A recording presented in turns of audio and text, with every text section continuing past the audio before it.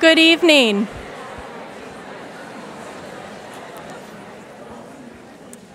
We have quite a full house, so welcome. Good evening, everyone, and welcome to Dominican University. My name is Rachel Hart Winner, and I am the director of the St. Catherine of Siena Center. And it is my pleasure to see you all here tonight, and my privilege to introduce Father Gregory Boyle. Father Greg is a Jesuit priest and is the founder and executive director of Homeboy Industries. He has received degrees from Gonzaga University, Loyola Marymount University, Weston School of Theology, and the Jesuit School of Theology. Prior to his work with Homeboy Industries, he taught high school and lived and worked with Christian based communities in Bolivia. Father Greg then brought his dedication to finding a place for all in society to the Boyle Heights community of East Los Angeles, where he started what would become Homeboy Industries. Now, in its 26th year of operation, Homeboy is the largest gang intervention, rehabilitation, and reentry program in the United States. Homeboy started as a bakery and has grown to include seven social enterprises which both employ and offer services to those people most in need. It is truly a model for finding imaginative ways to engage young people, for whom gangs provide one of the only sources of family and belonging. Father Greg's work at Homeboy Industries. As you will hear tonight, the stories from the people that called Homeboy Industries home are truly inspiring. Homeboy employs more than 300 former gang members while also providing support for the thousands of individuals that cross its doors every year. Father Greg has received numerous awards for his work. He speaks at schools and universities across the United States. And he's also the best selling author of the New York Times book, Tattoos on the Heart the Power of Boundless Compassion. In this powerful book, which I'm sure many of you have read tonight, he shares stories of his experiences in the Boyle Heights community, which is often called the gang capital of the world. Not only is Father Greg a gifted author and a renowned storyteller, he is a man of profound faith who affirms that we are all created in the image of God and worthy of God's boundless love and compassion. He brings life to stories, as we will soon see tonight, stories which are both beautiful and tragic. And he invites his readers and audiences to find the good, to find God, so that we may embody God's compassion in our own attitudes and actions. Many of us here tonight have indeed read his book or been touched in some way by the work he does. He has been called a national treasure, the Gandhi of the gangs, and a true advocate for peace. So it really is a privilege, and I know we will all be gifted in some way by his presence among us tonight. So please help me warmly welcome to the stage Father Greg Boyle. Thank you very much. It's a real privilege to be here. I've never been here before, so uh, I like going to places I've never been. Um, there were scalpers outside, apparently. Uh, I, I, I, don't I believe that's ever happened at a talk I've given. Though there are empty seats, so uh, in the nosebleed or the cerebral hemorrhage section up there. The, uh, you know, I, uh, just came off a retreat uh, a couple days with a whole bunch of gang members, and they always, oh my gosh, I'm so privileged. They, they teach me everything of value. Uh, there's a homie named Lewis who's uh, kind of runs the place for me, and he's, uh, you know, he's become something of a public speaker in his own right. And uh, so a couple nights ago, he was he went on this retreat, helped me run this retreat. And uh, he was giving me tips, you know, like uh, um, elements he thought that went into a good speech. And uh, he said, You know, you have to pepper your talk with self defecating humor.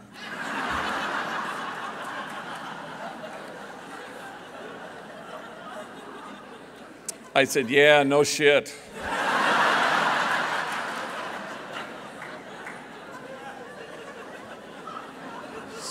So brace yourselves.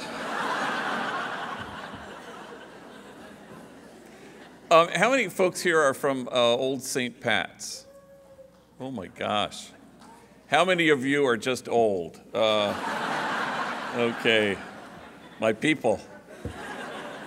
Uh, so uh, the St. Pat's folks have heard me. I guess that was a few years ago, and I don't know. It, it, that always sort of undoes me a little bit because, you know, maybe I'll say a thing or two that I've said before. It happens. I, I, was at a foster grandparent gathering, huge gathering in Southern California, and I had spoken at it uh, the summer before. I don't know why, but they invited me two summers in a row, and that kind of uh, it makes it hard for me a little bit. And and afterwards, this grandmother came up to me, and I think she liked the talk. She had big tears in her eyes, and she grabbed both my hands, and she said, "I heard you last year." it never gets better.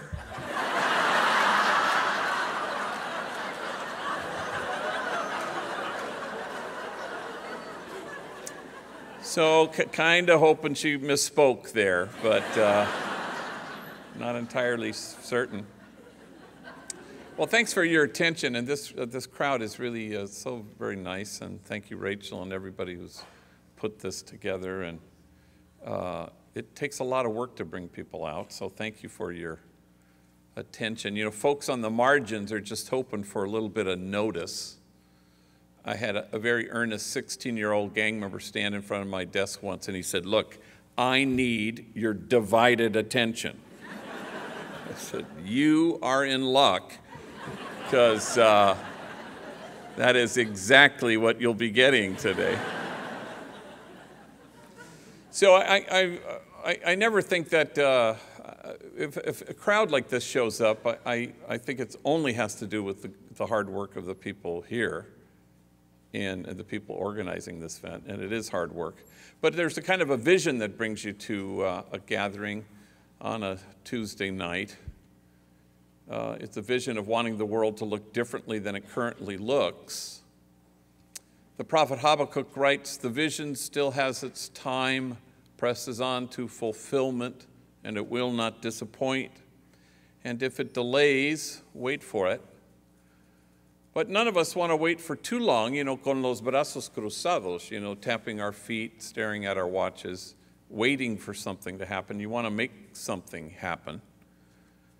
And the thing that I, I, I suggest all the time uh, that, uh, that God's dream come true for us the thing that he wants us to make happen is the creation of a community of kinship such that God, in fact, might recognize it.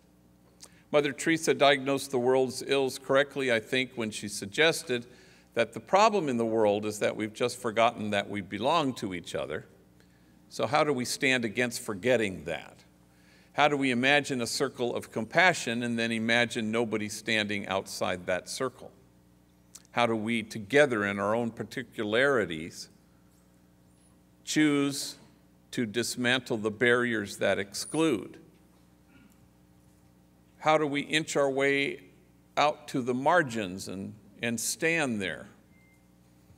The trick about the margins that if you in fact stand there, look under your feet, they're getting erased because you chose to do exactly that and you stand with the poor and the powerless and the voiceless, and you stand with those whose dignity has been denied, and you stand with those whose burdens are more than they can bear.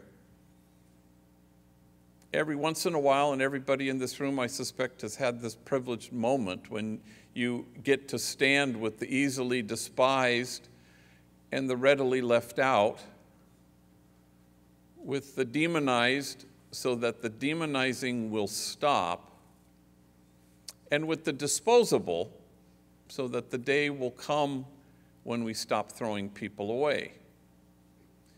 So I suspect that if kinship were in fact our goal, we would no longer be promoting justice. We would in fact be celebrating it. No kinship, no justice. No kinship, no peace. No matter how singularly focused we may well be on those really, truly worthy goals, they in fact can't happen unless there's some undergirding sense that we are connected and, and we belong to each other.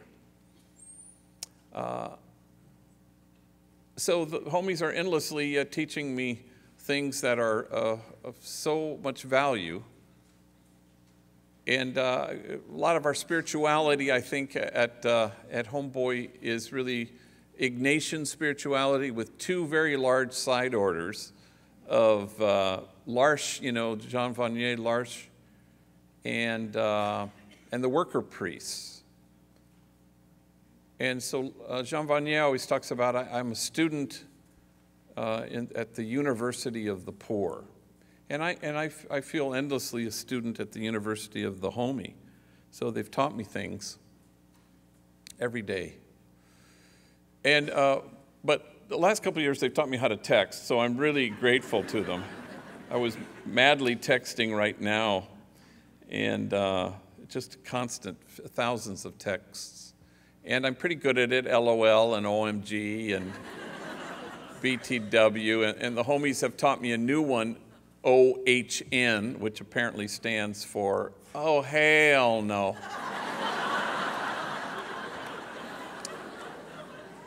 and I've been using that one quite a bit lately. So there I am uh, with two homies, Manuel and Poncho. They're going to help me uh, give a talk at this high school, some distance from Homeboy. So we gather at 9 when everybody, when the day begins after our morning meeting. And so we're in the car, we're driving. Manuel's in the front seat. He's got shotgun. And so um, we're 15 minutes uh, on the road, and uh, Manuel gets an incoming. So he reads his text and he sort of chuckles to himself. And I said, What is it? He goes, Oh, it's dumb. It's from Snoopy back at the office. Well, I'd just seen Snoopy. Snoopy gave me a big abrazote as the day was beginning. And Snoopy and Manuel work together in the clock in room where they clock in uh, hundreds and hundreds of our workers, and it's actually quite a hard, difficult job. And I said, Well, what's he say? He goes, Oh, it's dumb. Hang on. Uh, hey, dog, it's me, Snoops. Yeah, they got my ass locked up at county jail. They're charging me with being the ugliest vato in America. you have to come down right now, show them they got the wrong guy.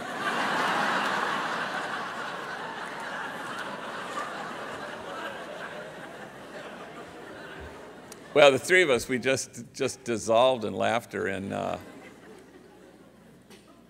and then I realized that Manuel and Snoopy are enemies. They're from rival gangs. They used to shoot bullets at each other. Now they shoot text messages. And there's a word for that, and the word is kinship. How do we bridge the distance that still remains between us? How do we obliterate once and for all the illusion that we are separate? You know, even in service, uh, we were talking earlier with the old St. Pat's folks that, uh, you know, we, we need to let go of service. We'll certainly let go of service as the end all. Uh, it's where you begin, but it can't be where you end. And the, and the impetus and the, and the longing and the desire to be of service is obviously a good thing. But there can be in service a distance, and you want to always be attentive to that. You always want to uh, make sure there is no daylight that separates us. You know, service provider, service recipient. At Homeboy Industries, I'm not the great healer, and uh, that gang member over there is in need of my exquisite healing. The truth be told, we're all a cry for help. We're all in need of healing. And service then is, a, is the hallway. Go ahead and walk down the hallway, but you're trying to get to the ballroom, which is the place of exquisite mutuality, the place of kinship and ultimate connection, the place of relationship. Jesus invited folks to enter into this friendship, into this relationship. And, and once that was done, the next invitation was to community. And that's the way it's supposed to work. That's the praise God, the only praise God has any interest in is that we engage in that. One of the great privileges of my life was knowing Cesar Chavez as a friend, and uh, was, he was an extraordinary listener. If, if you were talking to Cesar, nobody else existed. He didn't look over your shoulder for somebody more important on the approach. But once a reporter had commented to him and said, uh, Wow, these farm workers, they sure love you. And Cesar just shrugged and smiled and said, The feeling's mutual, which of course is the goal. I had a PBS uh, reporter once end his interview by saying, How's it feel to have saved thousands and thousands of lives? And I said, I don't mean to be coy or cute, I, but I honest to God don't know what you're talking about. I think saving lives is for the Coast Guard. I, I kind of don't believe in it. The only life I save is my own by showing up every day. The homies rescue me uh, when I lack uh, courage. The homies swoop down and douse me with a big old bucket of uh, humility when I'm utterly convinced of the rightness of my position the homies teach me in the University of the Homie what it means to be noble and what it means to be kind and the power of tenderness. And my life is saved every day, even when I'm not there, thanks to the magic of texting. But you want to bridge the distance even in service because uh, you don't want any daylight to separate us, which is God's dream come true. That's the whole point. Uh, so uh, I, there was a homie named uh, Dreamer, everybody called him Dreamer, and, and nobody found more job opportunities through Homeboy Industries than this guy. I knew him since he was a mocosito growing up in the housing projects when I was pastor, and uh, he got into trouble, got into a gang, and then a very smart kid didn't really stay in school too much, but brilliant, really, uh, with a devious, dangerous sense of humor. And, uh, but I'd find him jobs, and he'd always gravitate back to vague criminality, usually things involving drugs, the sale of or the use of. And then he'd always wander back uh, to Homeboy. And so this one time he finished a four month stretch uh, a probation violation in county jail, and so there he is sitting in front of me, and he says what homies often say, this time it'll be different. I go, hmm, all right. So with him sitting there, I call a friend of mine named Gary, who runs a vending machine company in Alhambra, California. He had hired homies in the past. I'm thinking maybe he'll do it again. And sure enough, he says, Yeah, tell him he can start tomorrow. That's a holy man right there. So, uh, Dreamer began work at the vending machine company, and about two weeks later, there he is sitting in front of my desk. And I go, Híjole, Madre Santa, here we go. I can't even believe this. And, and before I can say anything, he pulls out of his pocket his very first paycheck. And he's so proud, you know. And he says, Damn, gee, this paycheck makes me feel proper. I mean, my jefita, she's proud of me, and my morritos, they're not ashamed of me. And you know who I have to thank for this job. And I said, Well, gosh. who? And he looked at me strange and he said, Well, God, of course. Oh! no, that, that's right. That, that, that would be God. Yeah. He said, You thought I was going to say you. I said, No, gosh. God's number one. He said, You are so lucky we're not living in them Genesis days. And I'm sorry, them Genesis days? He goes, Yeah, because God would have been had struck down your ass already by now. And we just, we just fell out of our chairs howling with laughter. And I defy you to identify exactly who is the service provider and who is the service recipient. I have no idea. It's mutual. So Homeboy uh, was born, uh, and if you've read the book and if you've heard me talk, I'm sorry, to, I have to do the boilerplate seven minutes on, on uh, Homeboy, so bear with me. But it was born during the time I was pastor of the poorest parish in the city of Los Angeles, Dolores Mission. And it was nestled, this little tiny church, uh, in the middle of two public housing projects, Pico Gardens and Aliso Village. At the time, it was the largest grouping of public housing west of the Mississippi. And so we had eight gangs at war with each other, which is unheard of because normally in a, a, public housing project you would have one gang that dominated, or the only gang there really. But we had eight, which was really difficult. Uh, there was a time when I had, oh gosh, eight funerals in a three week period. So I buried my first young person killed because of this sadness in 1988 and I buried my 194th about uh, three months ago. Not all from that community, but I, because I run a large gang intervention program, I get asked to do this a lot. So, uh, you know, the main thing with ministry, it seems to me, is that you want to receive, you want to listen. And there are two tracks, I think, in ministry in the end. One is the one that's driven by hubris that says, here's what your problem is and here's what you need to fix. And the other one is uh, hopes to model Jesus' way of wanting to enter into relationship and to receive, you know, what would help you. So in those days, we had lots of uh, junior high, middle school age gang members who had been given the boot from their home school. Nobody wanted them. And so um, so they were wreaking havoc in the projects. They were writing on the walls and selling drugs, and they were violent. So I remember walking out to them, and I would talk to them individually, and in the course of trying to be in relationship, you know, I'd say, you know, if I found a school that would take you, would you go? And then to my surprise, uh, they all said, yeah, every single one. And then I couldn't find a school that would take them. So uh, that kind of forced my hand. So uh, in those days, we had our parochial school. Our elementary school was the first two floors of this building, but the entire third floor was the convent.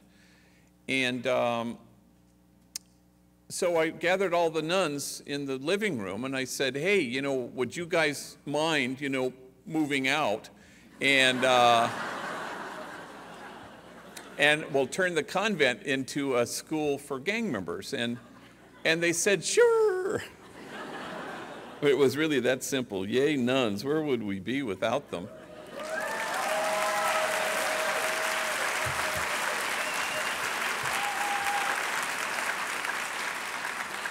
The, the church I belong to is Nuns on a Bus.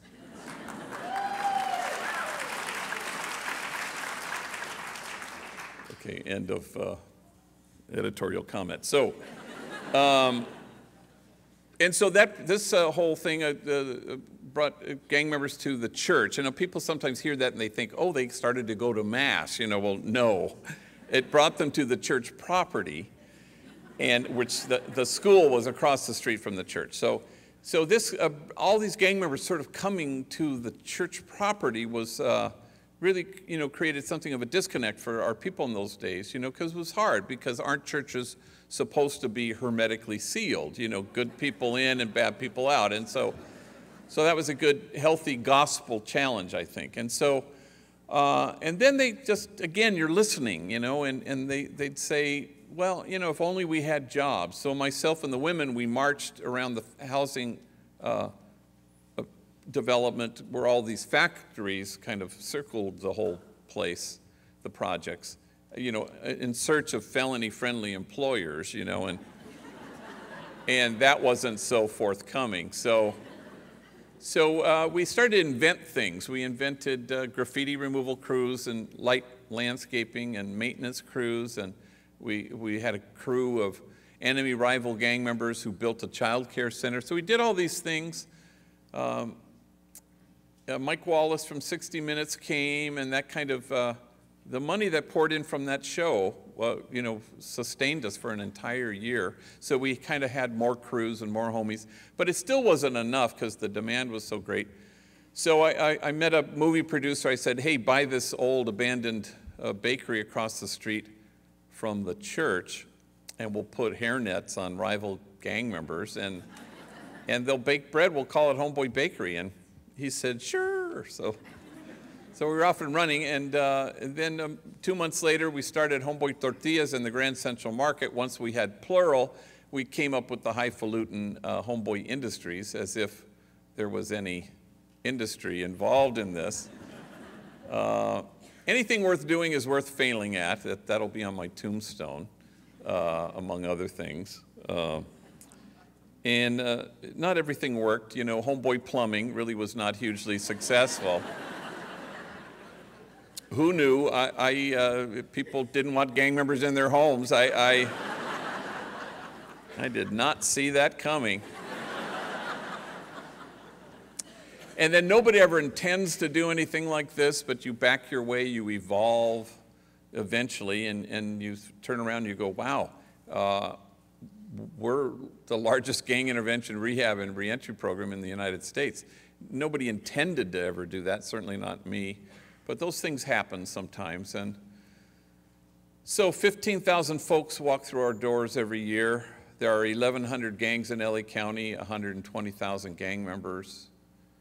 And so our program is not for those who need help, it's only for those who want it. So you have to walk through the doors. And just about anything that you could imagine that might be helpful, we do. A lot of curricular things from anger management and grief and loss and parenting. We still have a school with 120 students in it, all gang members, all on probation. Uh, they all work for us part-time while they go to school to incentivize their education. Free tattoo removal, no place on the planet removes more gang tattoos than we do. Uh, three uh, laser machines, uh, 47 volunteer doctors, uh, something like 40,000 treatments a year. Um, so if any of you are starting to regret that Dominican tattoo you have, uh, see, see me afterwards. And it was all started, uh, if you've read the book, you know, by a guy named Frank, who I'd never met and wandered into my office uh, two days after being released from Corcoran State Prison. I'd never met him before, and there he's sitting in front of my desk, and tattooed on his forehead, filling the entire space like a damn billboard, said, Fuck the world. and he looked at me and he said, You know, I am having a hard time finding a job.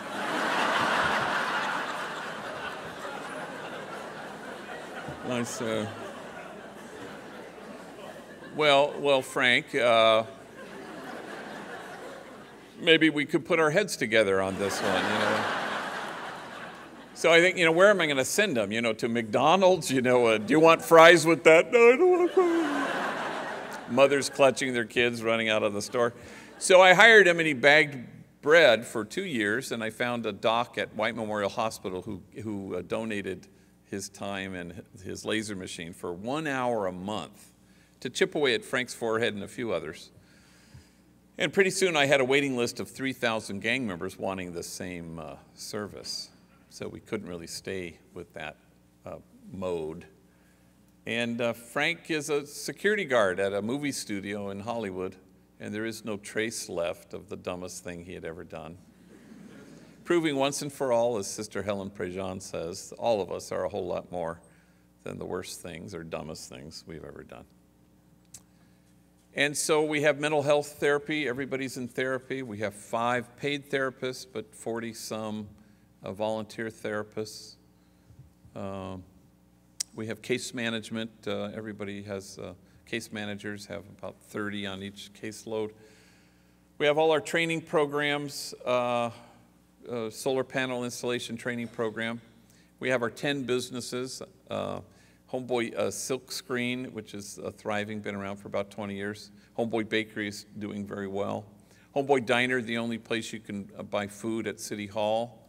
Um, Homeboy uh, Bakery and Cafe, which is a, a, a, restaurant we have at the American Airlines terminal. I saw it this morning with the line snaking down the hall. Uh, terminal 4, if you ever travel to LA. Um, we have the farmers markets and 40 some uh, farmers markets where we sell our stuff. We have what we call Homeboy Grocery, which is we sell chips and salsas and other prepared like salads and stuff with kind of a jalapeno twist um, in all the supermarkets in uh, Ralph's in Southern California. Homeboy Homegirl merchandise. We have a new a thing called uh, Homeboy Environmental Services, which is we send 30 gang members to clean the storm drains in the city. It's a, it's a big deal and a big contract. Um, and they love it. And then uh, Homeboy Lunch Truck, which was launched about a month ago. And lunch trucks seem to be the big deal now. And Homegirl Cafe, where women with records, young ladies from rival gangs, waitresses with attitude will gladly gladly take your order. Uh, if you go there, and I hope you will, uh, you know, it's kind of a who's who. You're always running into, especially in LA circles, uh, electeds are always there. And movie stars, Jim Carrey created pandemonium one day there. Um, the entire Dodger team came once for lunch, and that was a manicomio.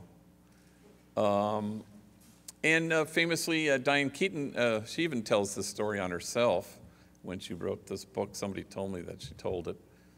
Uh, she was, uh, came for lunch, and she was there with a regular, a guy who's there once a week. And her waitress this day is Glenda. And Glenda's a homegirl, been there, done that, tattooed, felon, been to prison, gang member. She doesn't know who Diane Keaton is. And so she's taking her order, and Diane Keaton says, Well, what do you recommend? And Glenda rattles off the three platillos that she particularly likes, and then uh, Diane Keaton says, Oh, I'll have that second one. That one sounds good. And, and then for some reason at that moment, something dawns on Glenda, and she looks at Diane Keaton and she says, Wait a minute. I feel like I know you from somewhere. You know, like maybe we've met. And Diane Keaton decides to sort of deflect it humbly. Oh, gosh, I don't know. I suppose I have one of those faces, you know, that people think they've seen before. And then, then Glenda goes, No, now I know. We were locked up together.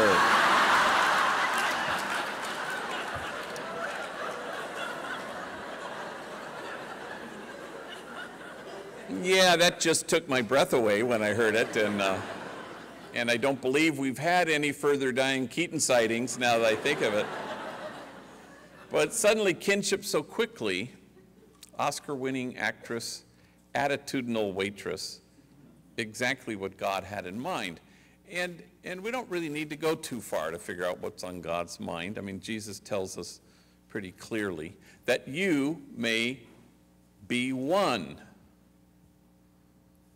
I suppose he could have been more self referential, but it really is about us.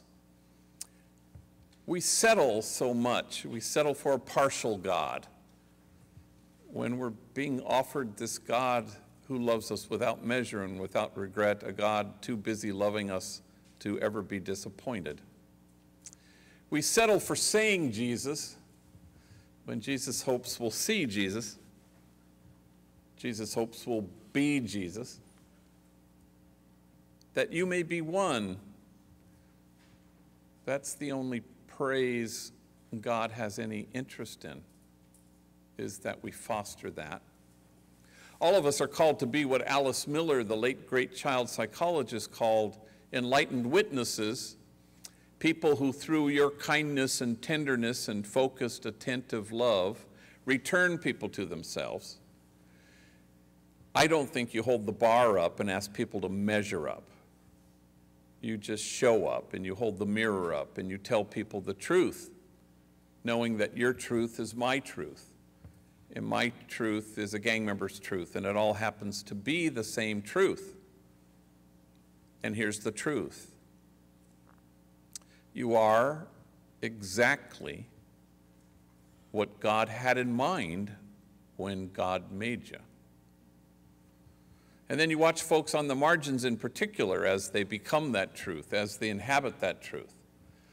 And no bullet can pierce it, no four prison walls can keep it out, and death can't touch it because it's huge. But part of our task, often enough, is to reach in and dismantle the messages of shame and disgrace that keep folks from seeing their truth Marcus Borg, the great scripture scholar, says that the principal suffering of the poor throughout history and certainly throughout scripture is shame and disgrace. And I think that's quite right.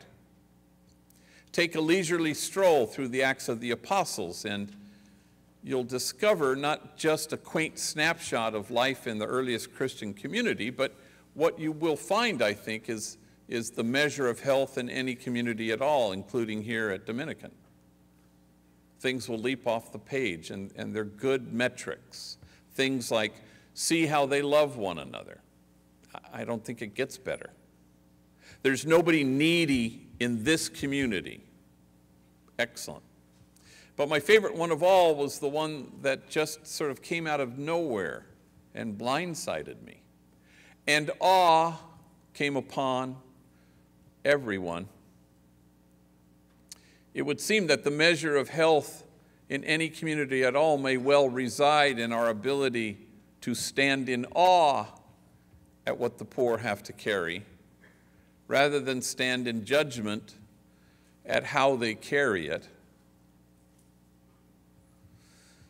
Some years ago, I was invited to uh, uh, give, uh, speak at a, uh, a conference, an all day co- conference uh, for social workers in Richmond, Virginia. Well, I didn't read the thing very carefully, you know, and I thought it was just, oh, I have a keynote. I open it or I close it. And then I, I read it carefully and I said, oh, no, uh, it's from 9 to 5. It's a gang in service. I'm the only speaker. so I, I, I get two homies. Uh, Jose, a Latino gang member, uh, about 25 years old, and uh, Andre, African American gang member who at the time worked in our merchandise store. I said, Look, we're going to Richmond, Virginia. I want you to get up and tell your stories. Take your time, because it. Because we got a long ass day to fill. so uh, I never heard their stories. And, and Jose got up and, and 25 years old, and uh, he began like, we have an 18 month program. And so the first three months is you begin in the humble place, which is the um, janitorial, wash windows, clean urinals, that kind of thing. And then you move to another part, uh, the clerical thing, and then you move into one of the businesses. But he kind of didn't do that because he was a man so solid in his recovery that he became uh, very much a, a valued member of our substance abuse team. A man in recovery and dedicated to it himself a gang member, been to prison, a parolee, tattooed and everything. But uh, he also spent a long stretch of time as a homeless man and uh, an even longer stretch as a heroin addict. So he gets up and, and he sort of begins in an offhanded way. Yeah, I guess you could say my mom and me, we didn't get along so good. I think I was six when she looked at me and she said, Why don't you just kill yourself? You're such a burden to me.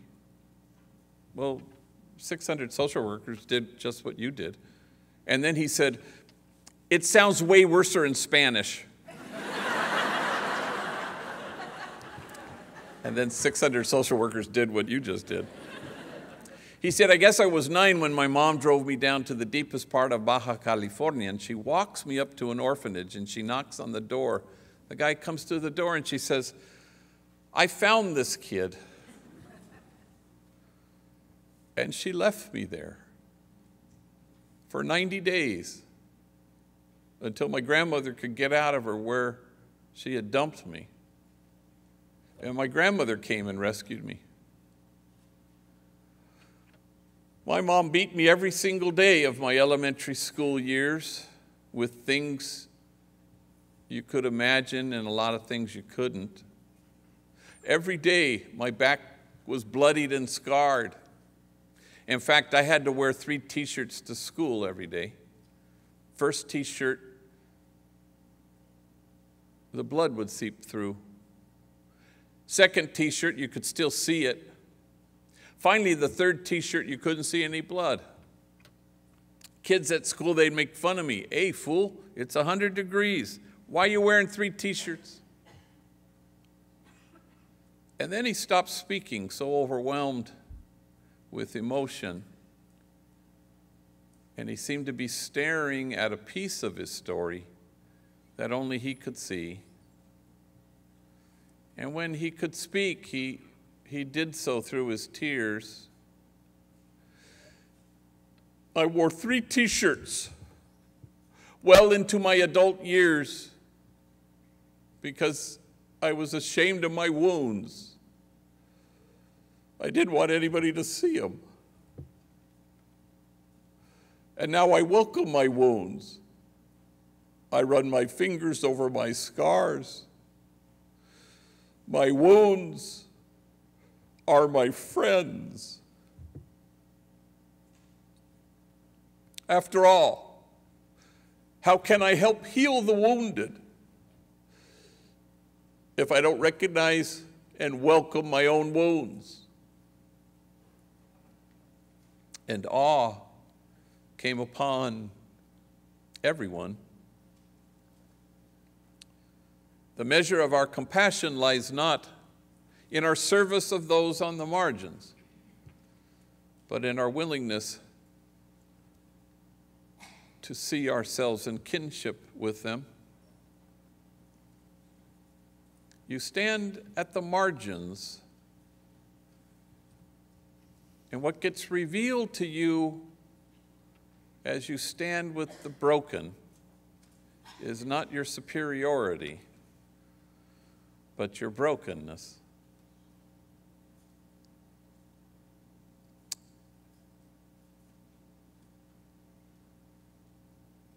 Everything depends on our analysis or on our diagnosis. Nobody in this room has ever met a treatment plan worth a damn that was born of a bad diagnosis. I, I, I, suspect that's never happened in the history of medicine.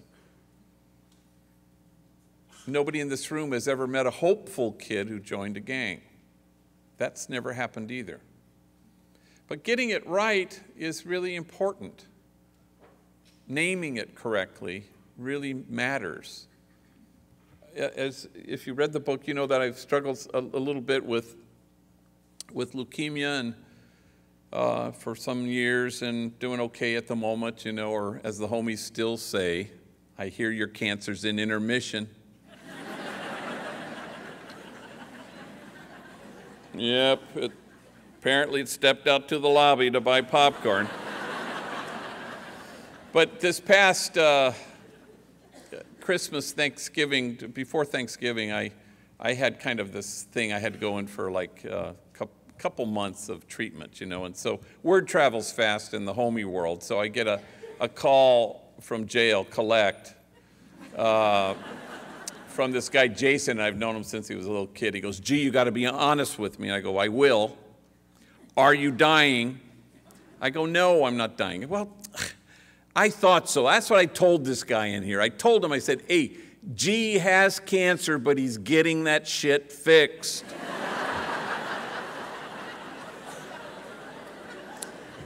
Said, slow down with the medical jargon because uh, kind of hard to keep up with you. So, but I had gone to a doctor who I no longer go to. Well, I, I, I gave blood. I tried to give blood, and the guy said, "Ooh, we can't take your blood." So I went, "Yikes!" So I went to this doctor, and he said I had mono, so he treated me for mononucleosis. I think we can agree, you know, that probably there's a difference between mono and leukemia, and so, so, but my point is that a, a, bad diagnosis is never neutral. It's always, you waste time and money, it puts you behind the eight ball. I had to be rushed into chemo only because we got it wrong. And we don't want to get it wrong. You know, how we name stuff is really matters. You know, so there I am on the Dr. Phil show. I know, what was I thinking? But, uh, and so we thought we had talked the producers down from doing something dumb. So I'm backstage and I hear Dr. Phil say, and now, ladies and gentlemen, the founder and executive director of Homeboy Industries, Father Greg Boyle. So I walk out there and it's kind of like bleachers and people are clapping. I go and there's, uh, to my horror, there's Phil sitting in a stool in the middle of the stage. There, my empty stool is next to him. I'm going to be on the show for an hour.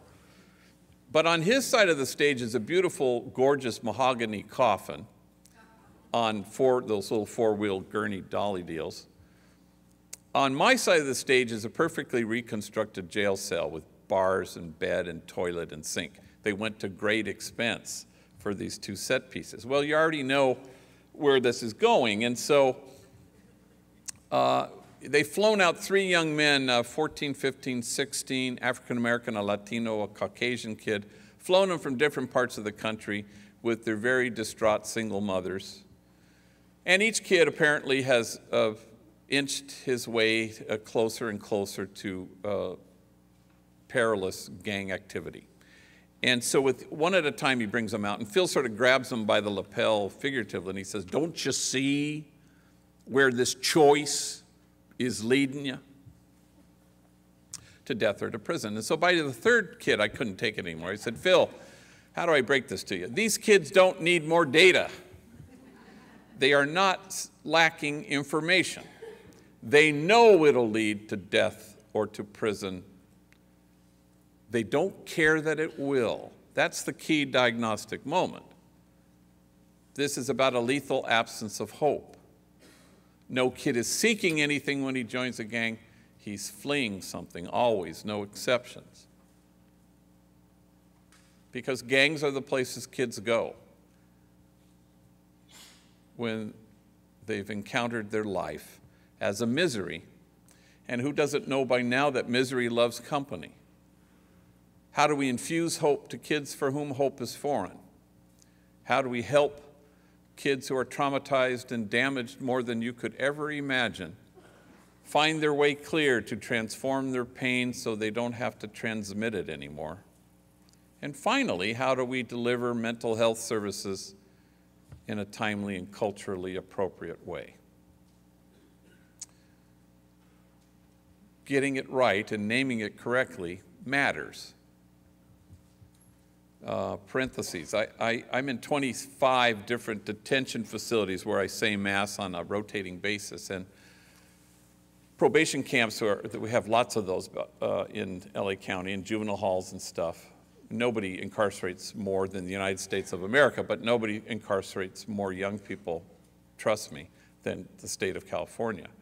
So I, am there, I say Mass in all these places. And you'll go into a gym or whatever, and I was uh, at this one place, uh, and about 100 gang members there. So after Mass, they all come up, and I'm in my vestments, and I'm doing the dishes, and we're talking, you know, and, um, and they, you know, I hand out thousands of my card, and a kid came up to me and he said, hey, how do I get your credit card?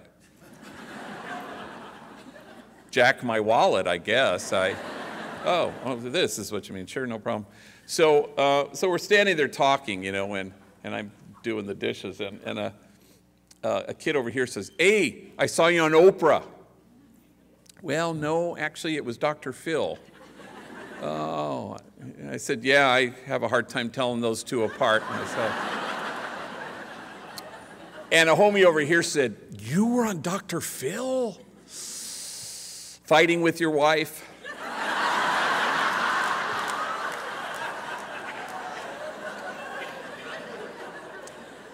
And these guys are dying laughing over here. And I, uh, I said, Well, yeah, but you know, he really gave us some good advice, and we're doing much better. I'll, I'll, I'll tell her you were asking for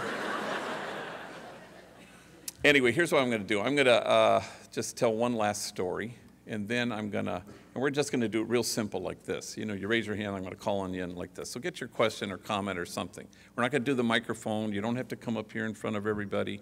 It's going to be like this boom, boom, boom.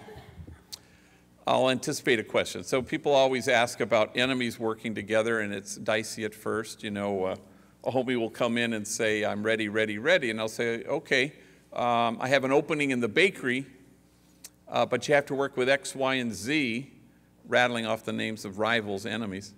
And they always do the same thing. They think for a long time and then they say, okay, uh, I'll work with them, I'm not going to talk to them.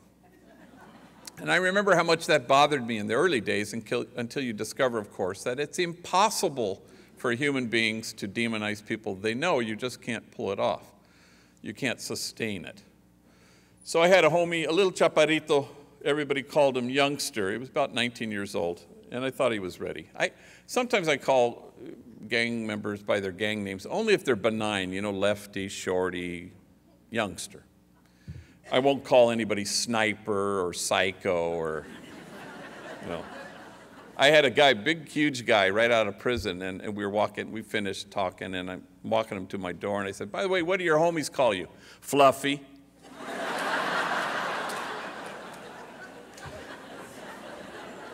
Uh, so I have youngster there, at the, and I bring him to the Homeboy Silkscreen, which has been around for, for 20 years, and uh, you know, and about 2,500 customers, high quality work, reasonably priced. We UPS to the greater Chicago area. so I, uh, I'm introducing him to his 30 coworkers, and I watch this little tiny guy as he shakes hands with each person. There were a lot of rivals, a lot of enemies in those days shakes them, firm handshake, looks them in the eyes. I think, wow, this is great. Until he gets to this last kid named Puppet.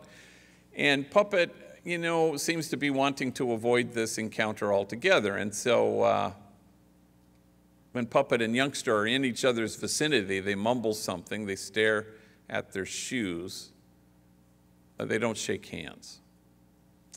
Well, I know they're enemies because I know what gangs they're from, but he just finished shaking hands with a whole bunch of enemies. I discover later that this is a hatred that's really quite deep and very personal, uh, beyond which uh, they apparently think they can't get past. So I sensed that much at the moment. I said, Look, if you guys can't hang working together, let me know. I got a gang of people who want this job. Calladitos, they don't say a word. Well, six months later, Puppet leaves his home to go to a corner store some distance from his house. And uh, he goes in and buys something. And on the way home, for some reason, he decides to take a shortcut, so he dodges into an alley. And because he's taken this detour, suddenly, unexpectedly, he's surrounded by 10 members of a rival gang, 10 against one, and they beat him badly. And while he's lying on the ground, they will not stop kicking his head until he's lifeless. Somebody finds his body and puts him in a car and drives him to White Memorial Hospital, where he's declared effectively brain dead. But it's the policy there to keep you connected to machines for 48 hours, for two full days, so you can uh, see if there's a two full days of a flat read, you know, with no brain activity at all, and then, if that's the case, then the doctors can sign the death certificate, make it official. This allowed family and friends to gather. I was uh, giving a talk at St. Louis University. I flew home immediately. I've seen a lot of horrible things in my life, uh, but nothing to compare to the sight of this young man with his head swollen many times its size. It was just, honest to God, so horrifying. You could barely train your eyes at, on him. So, at the end of the 48 hour period, I said a blessing prayer over him. I anointed his forehead with oil. We disconnected. And a week later, we buried him. But in the first 24 hours, while Puppet was lying beaten in the hospital, I was alone in my office and it was 8:30 at night and the phone rang and it was Youngster, Puppet's coworker from the silkscreen factory. Hey, he says, that's messed up about what happened to Puppet. I said, yeah, it is. And then with a certain kind of eagerness even, he says, is there anything I can do? Can I give him my blood? and we both fall silent under the weight of it until finally he breaks the silence, choking back his tears. And he says, with great deliberation, He was not my enemy, He was my friend. We work together.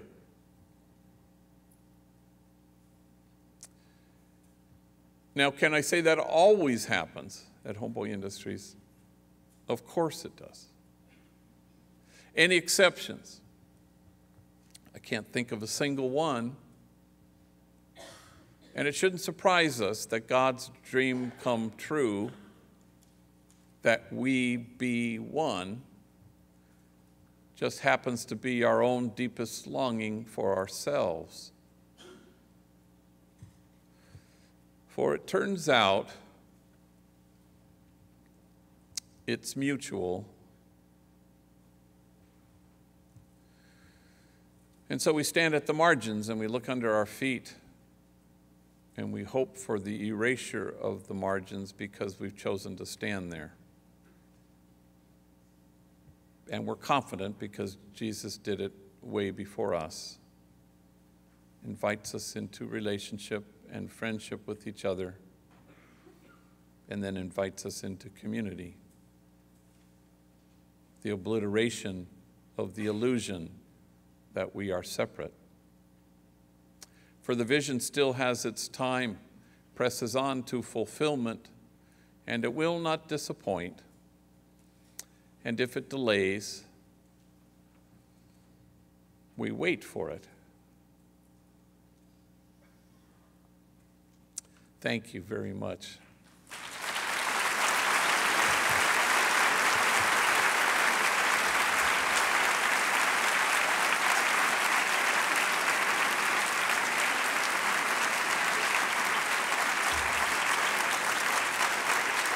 Thank you. So,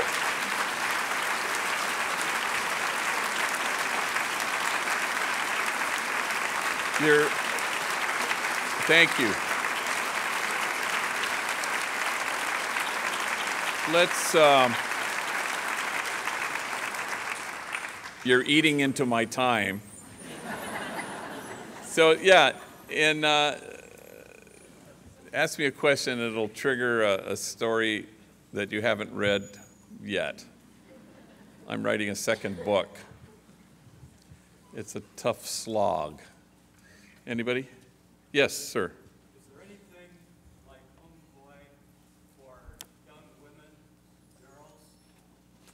Well, yeah, homeboy. No, no, yeah, we have Homegirl Cafe. It, the odd thing is that uh, females represent about 3 to 5% of the 120,000 gang members. So there aren't that many girls in gangs anywhere. And then also, women represent a, certainly a smaller proportion of those who are incarcerated. So, in order to work at Homeboy, you have to be a gang member, or you have to have, uh, you know, you have to be a felon or have been incarcerated. That's where we get most of the women, are, are women who are felons. Because it's hard to, you couldn't fill, frankly, Homegirl Cafe with, with uh, gang members who are female, just because it's, a, it's, a, it's more rarefied than you think. So the gang thing is mainly a guy thing. But having said that, probably 40% of folks who come seeking our services are female. Yes. You just go like this and I'll go like that. Yes.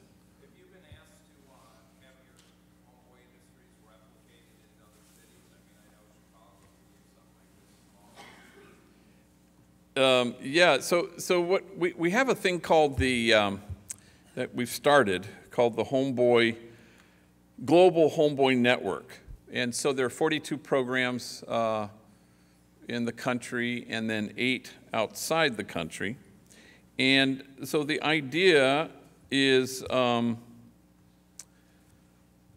we don't want to become the McDonald's of gang intervention programs, you know, with over 5 billion gang members served, you know, so. But we want to foster and help folks who are, want to do stuff. Um, like the New Life Centers here in uh, Chicago, the great and wonderful Matt DeMatteo.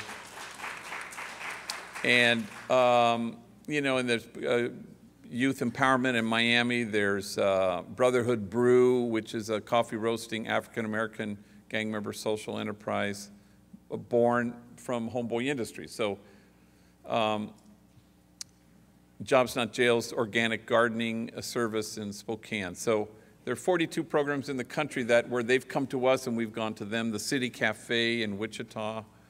Um, there's uh, Braveheart Industries in Glasgow, Scotland.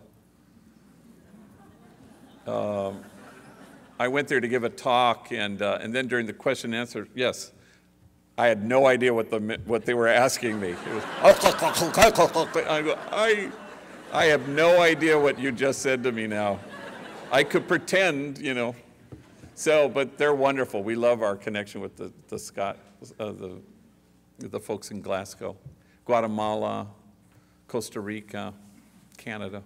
So rather than airlift Homeboy into another place, we, we would much rather have a network, a movement where people, where we can kind of talk about what we think works and what we think doesn't work, what is helpful and what we think isn't.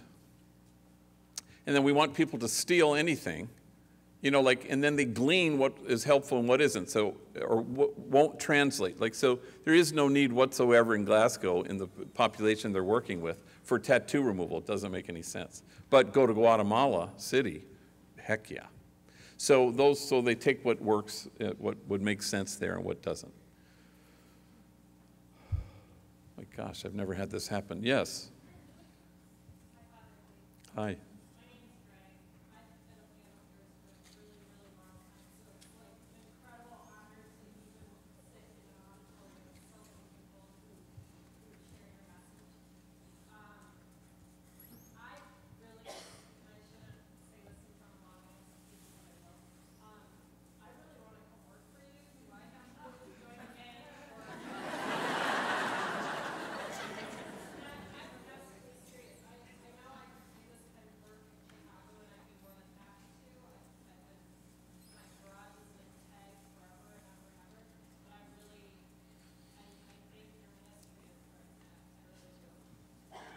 Yeah, well, uh, you know, we have like 200 volunteers and we have interns and we have people come and spend a certain amount of time. Uh, we're, we're, getting some intern from Harvard who's going to hang out for a year. Certainly, we have Jesuit volunteers. So it's, it's, it's a place that's conducive to coming and learning.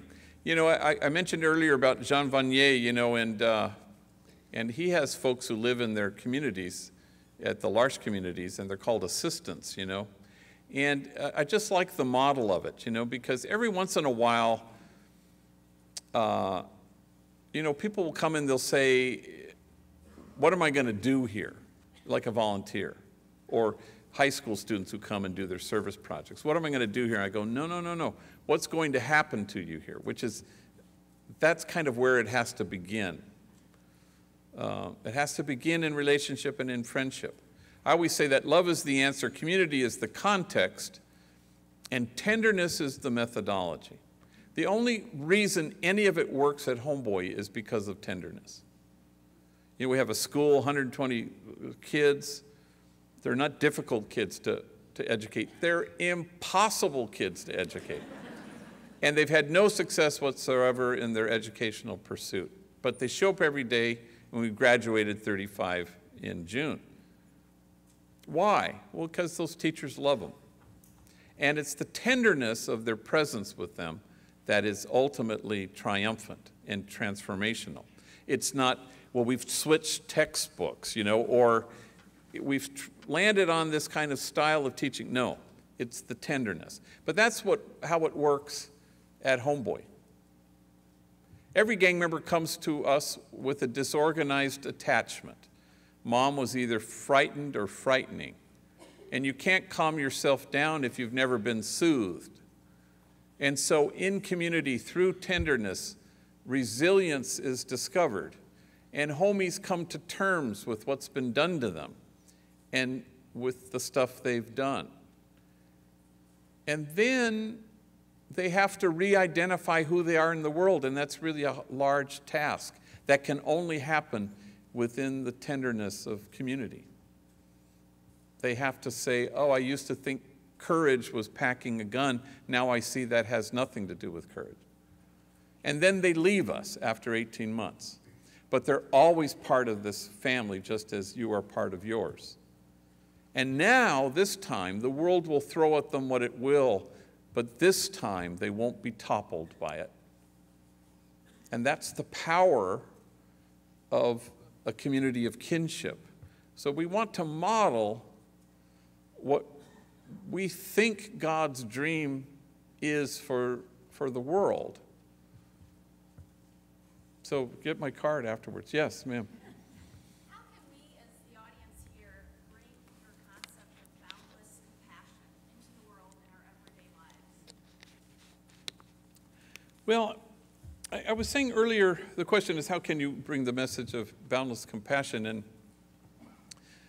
I, I, I think we just need to put first things recognizably first, you know, and live as though the truth were true. And and not settle. We're endlessly settling. We're always creating God in our own image, and it's frustrating.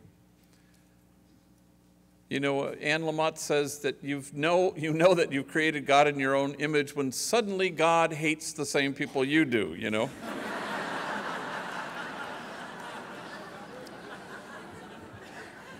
but, you know, as people of faith, I think we need, we endlessly settle we, we settle for purity or piety when we're invited to holiness.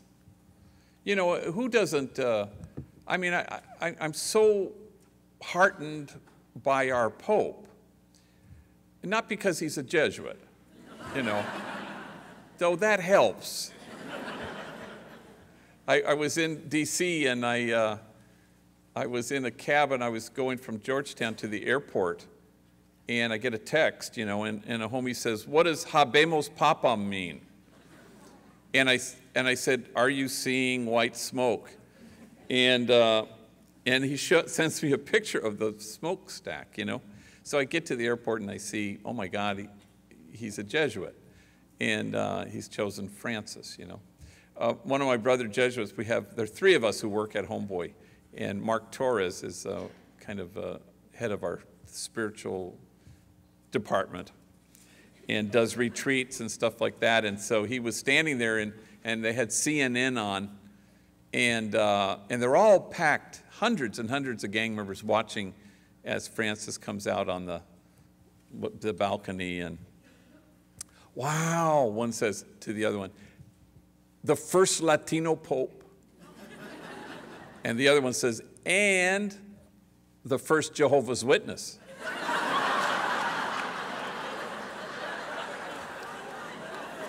And, and Mark sort of leans in and says, Jesuit. Eh, never mind.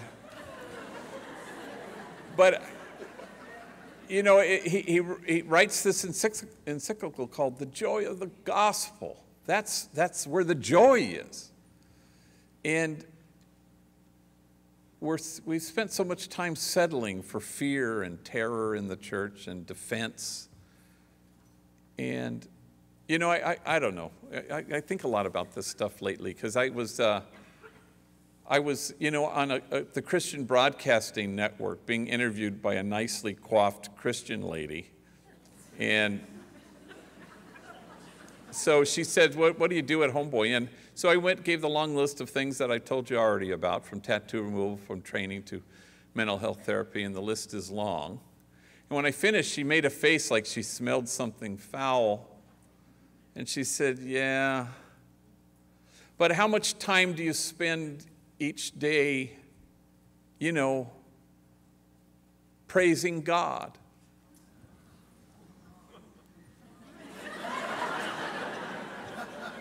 I looked at her and I said, All damn day.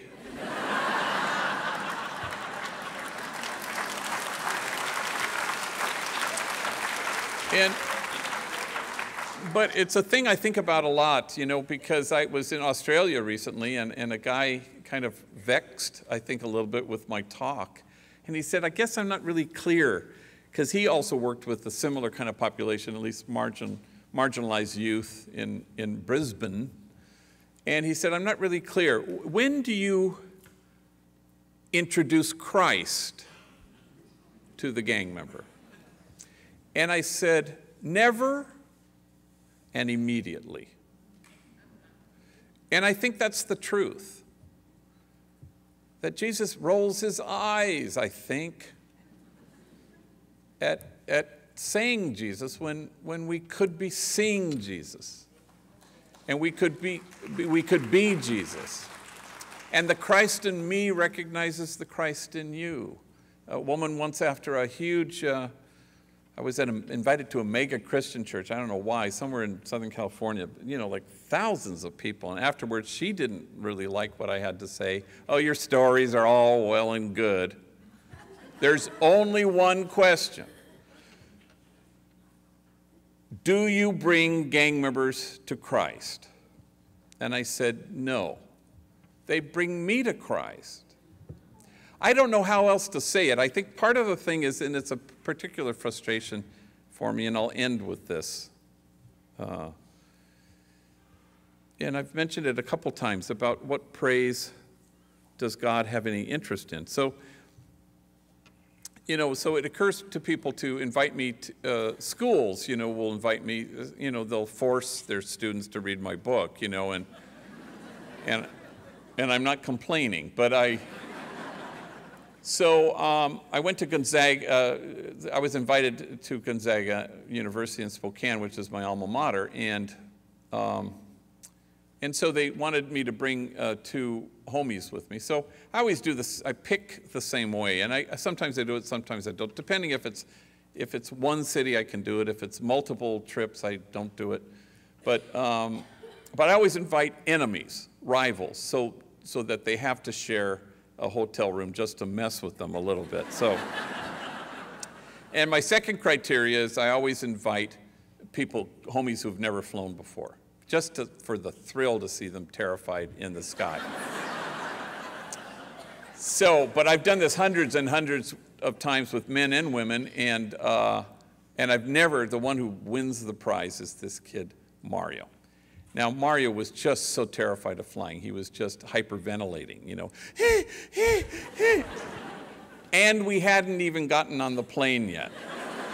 So we're at Burbank Airport, and Mario's this big, tall, drink of water, skinny kid, and, and we're, we're sitting there. And, it, and it's kind of a smaller airport if you've ever flown there, and it's big uh, bay windows, and, and Southwest principally flies there. And so it, you go out into the tarmac, there's no hermetically sealed chute, you know. And uh, so uh, our plane comes in, it's in the morning, and, and you, you know, you, when you get on the plane, you climb up the, the steps to the front of the plane or the back of the plane like you're the President of the United States. So, so uh, I'm, Mario's there, and I, in the plane, our plane arrives, and I said, there's our plane, and, he and I go, he may die before we actually get on it. And so people get off the plane, and then our crew is ready to board. And so uh, two female flight attendants with big, large cups of Starbucks are schlepping up the front steps. And Mario goes, when are we going to board the plane? And I said, as soon as they sober up the pilots. Um,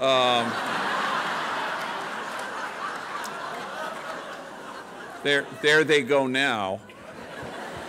Okay, I prob probably shouldn't have said that. So, uh, but I should tell you that Mario probably wins the prize of most tattooed guy ever to, in 26 years, to work at Homeboy. Unbelievable. His arms, he's all sleeved out. His whole neck is blackened with the name of his gang. His whole face, except for kind of a, a little circle here where you can see his eyes, nose, and mouth. But the rest is covered in tattoos.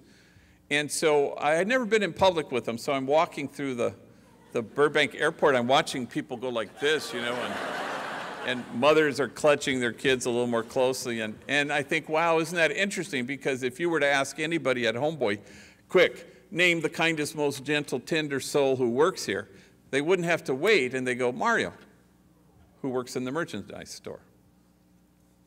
He's just, was just effusive in his gratitude and his kindness and his tenderness. He's just unbelievable, really. You know, like uh, for as terrified as he was on the plane, uh, flight attendant would hand him peanuts, but he, he wouldn't just take them and he wouldn't just thank her. He, he'd grab her hand and look her in the eye and thank you so much. It was just over the top. So, so we get to uh, Gonzaga, and this happens in some schools, and it didn't happen here, so I'm really grateful, thank you. But uh, it'll have the big talk like this, and then they don't tell you that they have nine other talks that they're going to have, you know, so class, class, meeting, class, class, class, all day long, like nine of them. So I tell the homies, I say, look, I want you to give these classes. I'm going to sit in the back of the room, and I want you to tell your stories. Well, they were a little terrified, but they got up and they did it, and uh, amazing stories of abuse and torture and terror and abandonment, of violence and neglect. And honest to God, if their stories had been flames, you'd have to keep your distance. Otherwise, you'd get scorched. So when the nighttime came like this, and it was, you know, it was like a couple thousand people. And uh, I told him, I said, I want you to get up before me and do a little snapshot, five minutes or so, and tell your story so I could include you in the question and answer. And they were terrified, but they did it, and they did a good job. Okay, so then question and answer. And a woman over here, she stands, she goes, Yeah, first question. Uh, I got a question, it's for Mario. First question out of the gate is for Mario. So he steps up to the microphone, Yes? And he's just terrified. And she goes, Well, you said you're a father and, and you have a son and a daughter who are about to enter their teenage years. What wisdom do you impart to them? You know, what, what advice do you give them? And Mario stands there and he closes his eyes for a really long time and he's like getting a hernia trying to come up with the right answer. And until finally these two little words slip out I just. As soon as he says those two words, he buckles and he closes his eyes again and he's trembling and he's crying. Oh, but he wants to get the sentence out. I, I just don't want my kids to turn out to be like me. And there's silence. And the woman who asked the question stands. And now it's her turn to cry. And she says, Why wouldn't you want your kids to turn out to be like you? You are loving, you are kind, you are gentle, you are wise. I hope your kids turn out to be like you. And a couple thousand people stand and they will not stop clapping. And all Mario can do is hold his face in his hands, so overwhelmed that this room full of strangers had chosen to return him to himself. And that is the only praise God has any interest in. And I think if we know that, it changes everything.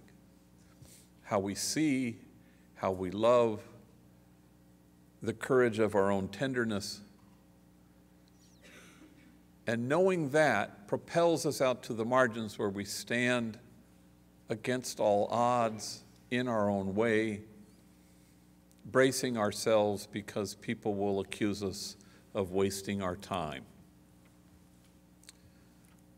But the prophet Jeremiah writes, In this place of which you say it is a waste, there will be heard again the voice of mirth and the voice of gladness, the voices of those who sing. The praise that matters is enabling those voices to be heard.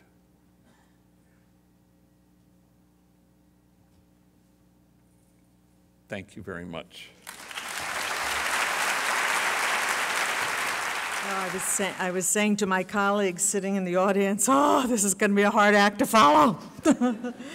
but it's truly an honor to have you with us this evening, Greg, to witness one heart inspiring many souls. So, in celebration of your visit and your ministry, it's my delight as president to present to you Dominican University's most heartfelt recognition, the Golden Rose of Charity, awarded to an individual whose character and contributions exemplify faith-filled service. The citation reads, Father Gre Gregory Boyle, for your boundless compassion in the creation of a more just and humane world. Now, those of us who have read Tattoos on the Heart know that you will likely share this award with one of your homeboys or girls. So let me make you a deal. You give this award to a talented and deserving student and consider it my IOU. When that student is ready to attend college, have him or her give it back to me in exchange for a scholarship.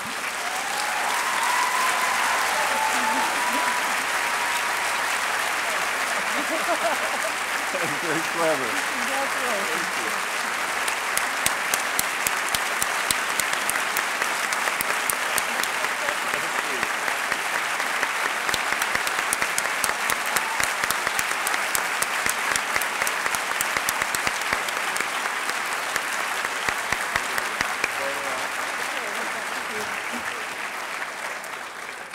Thank you again, and thank you, President Carroll. Truly an honor. I, we all, I think, today heard Father Greg invite us to all be one, but the true privilege is feeling one with you this evening, so thank you. I would like to, a few um, logistical announcements. We are selling books in the lobby, and Father Greg has graciously offered to stay until every book is signed. So ushers will We'll see how that promise goes. Ushers will help. Um, you'll be able to line up on the stage here to my left, and we'll pull a table out here. We also have cookies and juice in the lobby. And just a final note, we do offer several programs at the Siena Center. Our next event is October 14th, a play called Living Water, and the box office has remained open for those of you who might want to grab a ticket this evening. So again, thank you, Father Boyle, thank you, President Carroll, and thank you all.